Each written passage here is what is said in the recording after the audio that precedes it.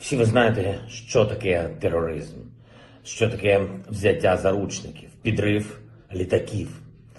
Але зараз ви бачите дещо страшніше. Вже не індивідуальний терор, не якусь маргінальну терористичну організацію. Бачите державу, державу терориста, державу, яка спланована знищення міста України крилатими ракетами, авіабомбами, артилерією, державу, яка дозволяє собі стріляти з танків по атомним станціям.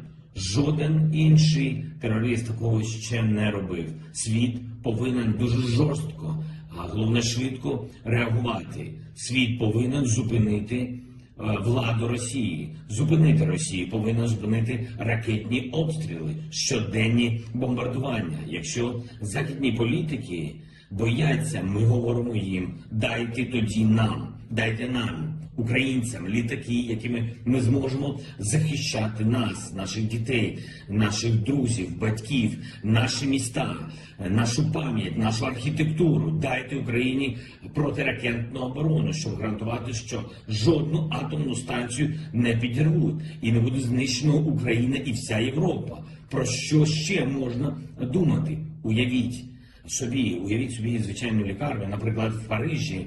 Е, Я їм цього не бажаю, але на секунду уявіть, або школу в Чикаго, або житловий район в центрі Берліну. Що ви зробили, якби терористи знищили їх повністю ракетами, ударами ракет, авіабомбами?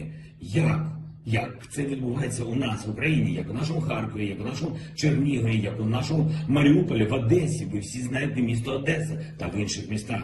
Це відбувається в Україні кожного дня, кожного божого дня. Тисячі зруйнованих мирних об'єктів. Ми знаємо, що люди звичайні, люди в усьому світі нас чують нас, е, розуміють значно краще, ніж будь-які політики. Політики завжди відстають від людей. Тому говоріть, прошу вас, говоріть про Україну. Виходьте на площі своїх міст, підтримуйте нас, демонструйте свою позицію міцну, демонструйте підтримку України. Не можна.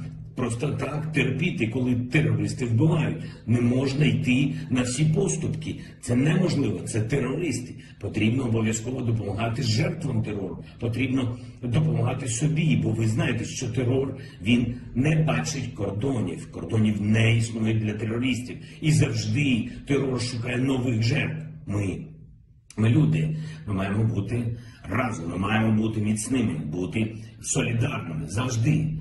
Особливо зараз людство повинно ставити вимоги терористам, а не навпаки. Україна повинна мати право на свій захист, захист свого життя з вашою допомогою у нашому небі або за допомогою літаків, які є у вас, але вони на землі. А у нас вони будуть порятунком, порятунком у небі, щоб на нашій землі залишилось життя. Ми з вами повинні вибрати життя і прямо зараз.